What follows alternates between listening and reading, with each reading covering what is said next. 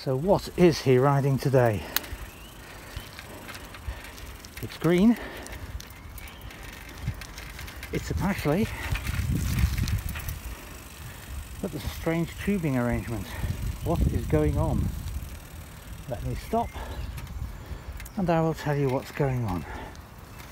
I'll just pull into the empty car park and show you what's what. Nice bit of sunshine to park in. Here we are.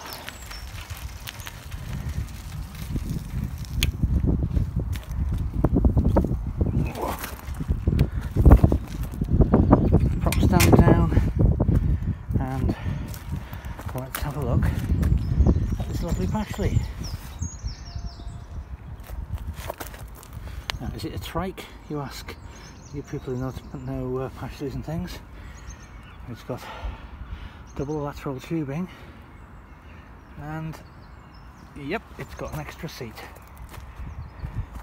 Here we have a lovely, best I've seen, um, tandem. Very popular in the 60s and 70s these, into the 80s even, um, as a, a family runaround really. Um, this rear seat, the rear seat post, it's about an 18 inch frame, so it's got a long seat post in it, um, so it's adaptable for all sizes of riders. And you can see I've got the front quite high as well, so um, you've got full adjustment for all members of the family really. The step over front and rear, so if you've got um, someone on the back, a small person, whatever, has got them, got on the back, you don't want to be kicking them in the face as you put your leg over. So on a tandem really, it's quite a nice thing to have step over in the front and rear. Now, it is a three-speed of course, Sturmey Archer. Those are new stainless steel chains on there. Um, I greased them all before I put it in the lockup. Been in the lockup over the worst of winter. Um, ditto the chrome was sprayed with WD-40 and I haven't polished that off because I've just come straight out with the lockup on it.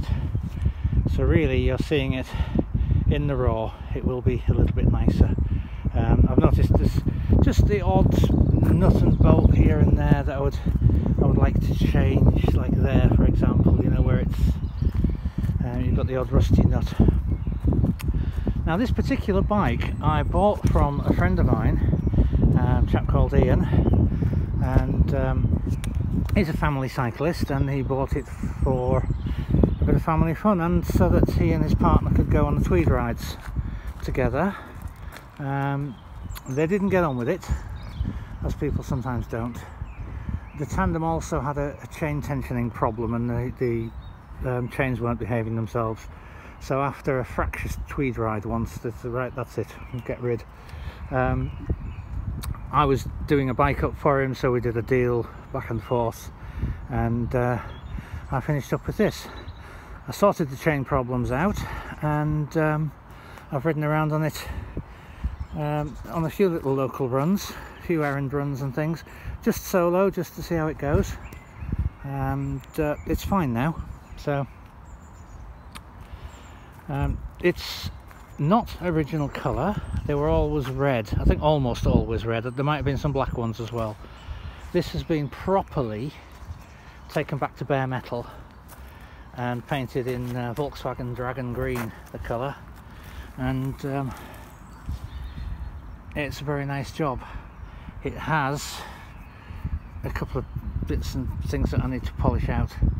Um, there might be some little to touch up, but all in all, the paint finish is uh, is really good and flat. Excuse the mud spatters as well. Um, I've just been along the cycle track.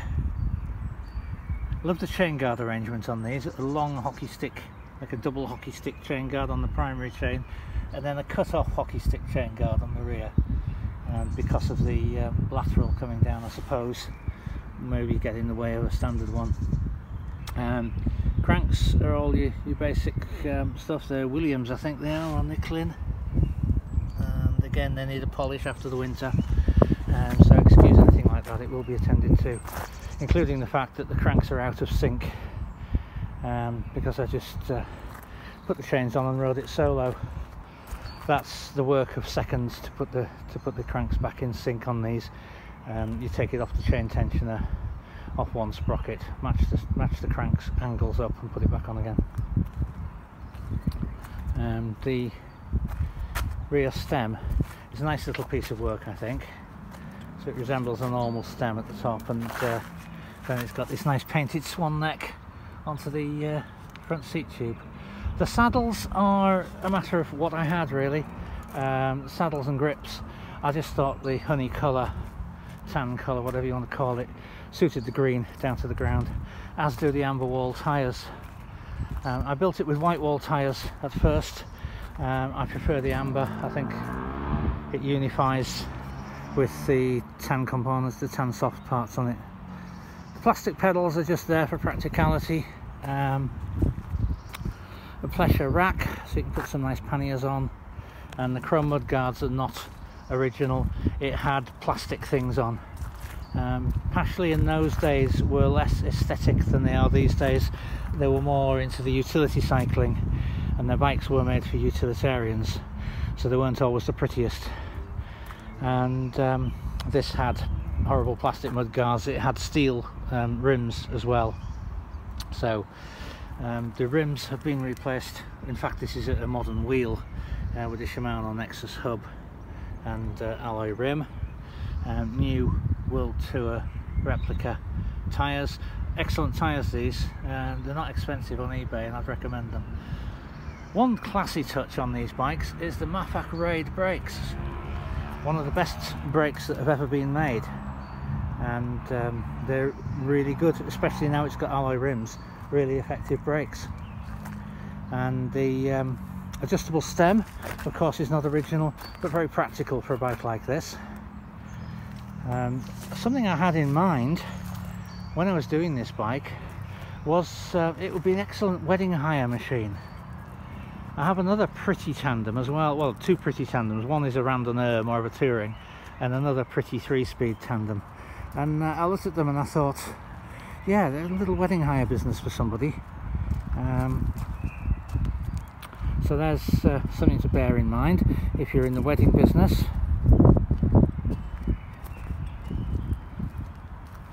can imagine it with a basket on the front.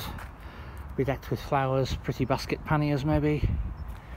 Make a lovely wedding conveyance um, especially in conjunction with the other one that I have which is a, a light teal colour. Um, so there's not much more to say on it really. You've seen the upgrades uh, the, the, fancy brakes the wheels the, the, rear rim of course is alloy as well. It's had a 22 tooth sprocket fitted which is uh, one of my standard upgrades. And particularly a bike like this it'll make it much more usable than the high gearing it came with as standard. Um, yeah this rear uh, this long rear seat post I'll just point out that it's got a quick release as well so it just a couple of turns on that and it, uh, it adjusts up wherever you want it. So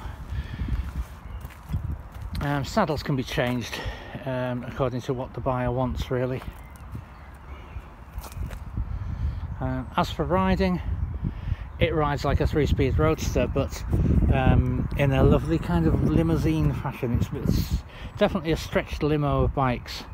Um, it rides the bumps really well. You, you, feel the front wheel go through a bump, and a second later the back wheel. Um, it's not just the bike um, sort of bucking underneath you. It seems to glide along. Um, comfortable for the rear passengers, I'm told as well. So.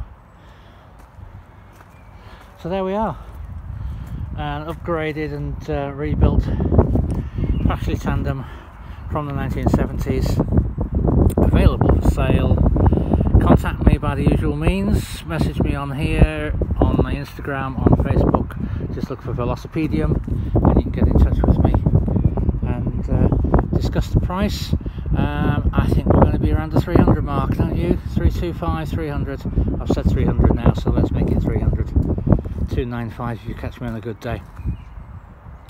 Alright then, happy cycling.